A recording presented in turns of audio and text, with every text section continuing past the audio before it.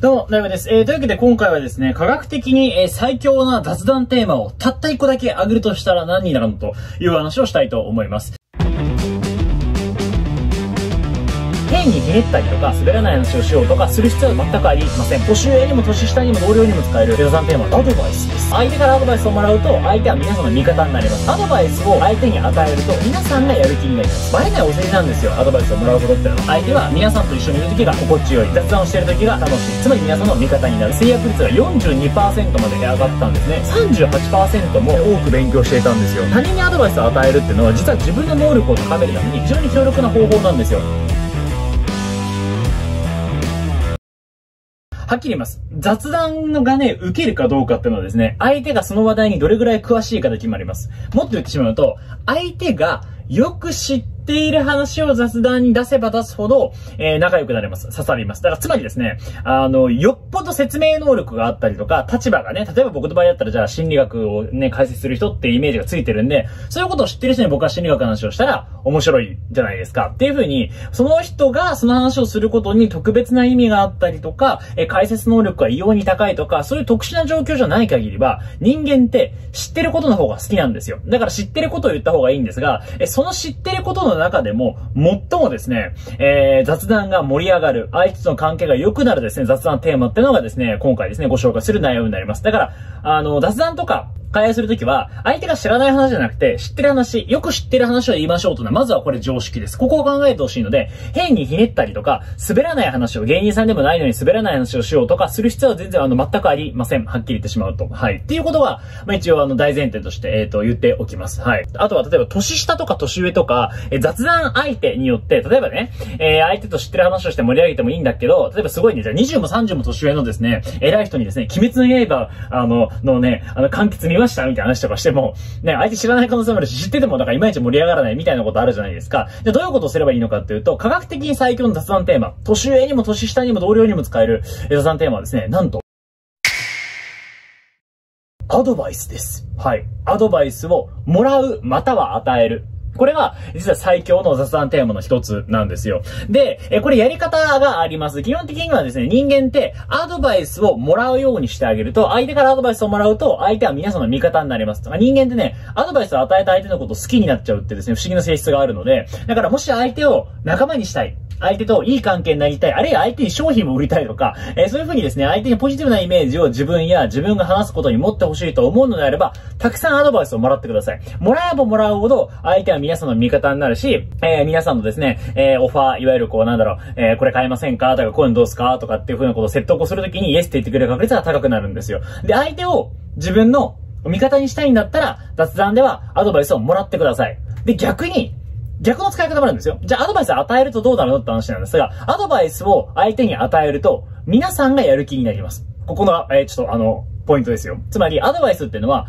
アドバイスをもらうと、もらった相手に好かれるんですよ。相手が、皆さんに対してアドバイスをした相手が皆さんのこと好きになってくれるんですね。で、一方で、皆さんがアドバイスを相手に与えるとどうなるかっていうと、まあ、与えた相手は置いておいて、えー、どうなるかっていうと、皆さんがアドバイスを相手に与えると、皆さんのやる気がアップするんですね。ここが面白いポイントですね。だからつまり、仲良くしようと思うんだったらアドバイスをもらうこと。自分のモチベーションを上げたいんだったらアドバイスを与えること。っていう違いが、え実は出てるんです。だからどっちにも使えるってところですね。で、これ実際2010年、え、ミシガン大学などのチームが、えー、っと、世界有数のですね、大企業の CEO とか経営陣とか、え、役員たちなどですね、数千人を集めて、他人をこう動かすためにですね、どういう風な、え戦略を使ってきたのかと、えどういう風なえ会話テクニックを使ってきたのか、みたいなことを調べても、え調べた研究とかでもですね、実はこのですね、相手からアドバイスをもらうこと、一つ目のポイントですね、アドバイスシーキングって言うんですが、このテクニックはですね、実はみんな使っていたんですよ。だから相手の心を掴んで上にのし上がっていく人たちっていうのは、アドバイスをもらいまくってるんです、上手に。アドバイスをもらうことによって、やっぱ相手のことを評価したりとか、間接的に評価したりとか、あとバレないお世辞なんですよ、アドバイスをもらうことっていうのは。え、これどうなんですか？って分かってても、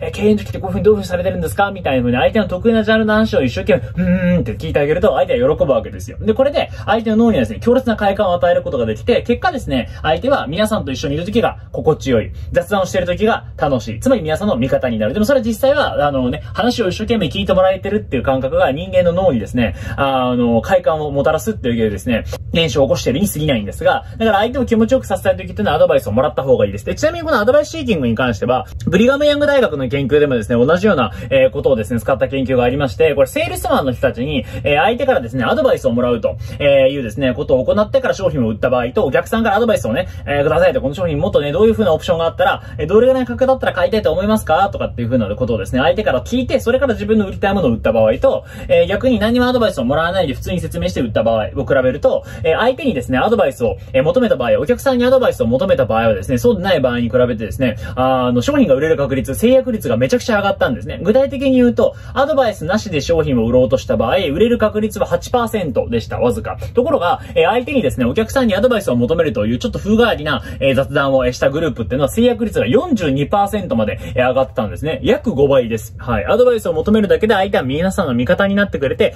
商品を売るという文脈でも5倍もですね、相手がイエスと言ってくれる確率が上がるんですよ。すごい話ですよね、これね。だから、雑談で迷ったら、仲良くなりたい、初対面の人とか仲良くなりたい人、あるいは年上の人だった場合っていうのは、えー、アドバイスをもらうようにしてあげた方が、えー、皆さんの仲間になってくれる可能性が高いです。じゃあ一方で、年下と雑談をしなくちゃいけないとか、同僚と飲み会に行ったとか、で別にそんな仲良くなりたいとかってわけでもないんだけれども、あのね、この時間を無駄にしたくないと、あいつのですね、せっかくの会話とかをですね、あの、上手に使いたい。あるいは、えー、そのですね、会話とかですね、交流を通して自分のモチベーションや集中力を上げたいというふうに思うのであれば、これ例えば会社に行った際の最初の雑談とかエレベーター内での雑談とかでもいいかもしれませんけれども、え、これはですね、えシカゴ大学の研究が参考になります。相手にアドバイスを与えることによって、皆さんのやる気って上がるんですよ。だから1日の最初とかにはですね、人のアドバイス、人にですね、アドバイスをしてあげる。で、このアドバイスするときに当たり前なんですけど、上から目線でいきなり行くと嫌なやつになるので、アドバイスを求められる、えー、立場になっといてください。とか、えー、困ってることとか聞いて、そこから、あのー、下手にね、ああ、それはこうやるといいよとかなくて、ちょ、最近読んだ本にさ、こういうの書いてあったんだけど、これ試してみたらみたいな、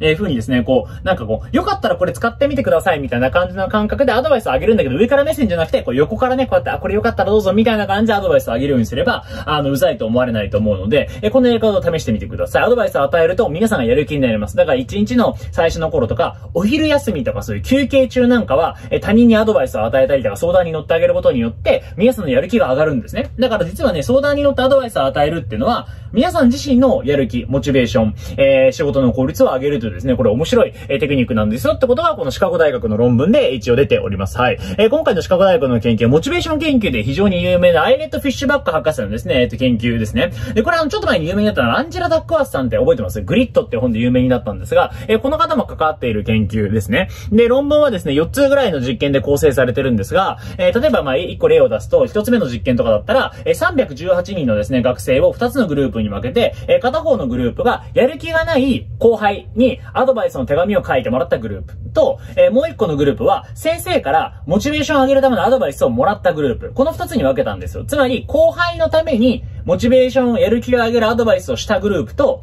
先輩からとか先生から、モチベーションややる気を上げるためのアドバイスをもらったグループ。この二つに分けたんですよ。はい。で、結果どうなったかっていうとですね、これですね、アドバイスをもらったグループよりも、アドバイスを後輩にですね、上げたグループの方が、え、勉強量がね、増えたんですよ。なんと、38%も、え、勉強時間が伸びていたんですよね。多く勉強していたんですよ。これかなりの差ですよね。で、ちなみにこれ他の実験もありました。他の実験では、全く同じことがダイエットとか貯金とか職業探しでもですね、当てはまるということがですね、分かってまして、常に他人にアドバイスをあげるグループの方が、あらゆる成績が良かったんですね。ダイエットの時も、ダイエットのやり方教えてくださいってふうに頼んでアドバイスをもらうよりも、いや、俺もなかなか悩んだんだけど、悩んでるし今も頑張ってる途中なんだけど、例えば、え間食を食べたくなったらこうするとね、我慢できるよみたいなことですね、アドバイスを人に与えるということをしてる人たちの方が、モチベーションが上がっちゃって、アドバイスをもらう人よりもダイエット成功してたんですよ。貯金も全く同じなんですよ。貯金も、貯金するための方法を教えてもらった人よりも、貯金するるための方法を教えてあげてる人の方が、えー、貯金のですね、額が増えるわけですよ。で、仕事探しも同じですよ。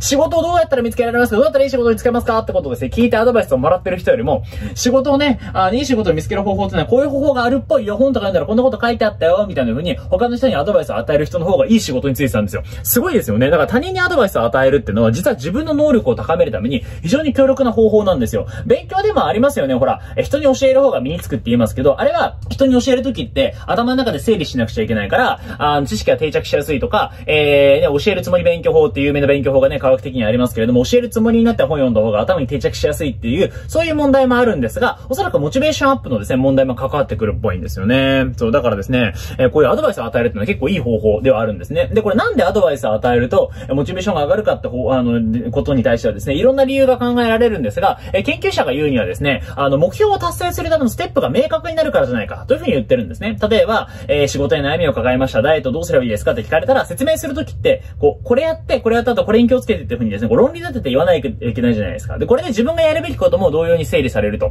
いうことがですね、おそらく原因じゃないかというふうにですね、言われてるわけですね。具体的な行動に結びつき言いやすく、えー、なるんですよね。で、こういうことをすると実行意図ってって自分をコントロールする能力とか、えー、そういったものがですね、高まったりとかするので、だからね、あの、自分が何かですね、いいことを知ったりとか、何かいいですね、え知識を手に入れた時っていうのは、それを人に説明すると、人にアドバイスして与ええてあげるということ、シェアするということをしてあげた方が、えモチベーションが高まりますよってことは、この研究では、え分かってるんですよね。逆にモチベーションが低い時に、あんまりアドバイス受けまくっちゃうと、あの、自分のですね、能力が低く感じられちゃったりとかする場合もあるので、ぜひですね、えアドバイスでいろんな人にしてみてください。だからこのチャンネルでね、あの、普段皆さんが聞いてる心理学の知識とかも困ってる人がいたら、ぜひね、まあ、動画をの内容を教えてあげるでもいいし、ね、あの、リンクを送ってあげるとかでもいいし、なんでもいいんですけど、え相手にアドバイスを与えるということをやっていただくと、皆さんの、あの、モチベーションも上がると思うんで、ぜひね、いろんな使い方をこのチャンネルしてみてください。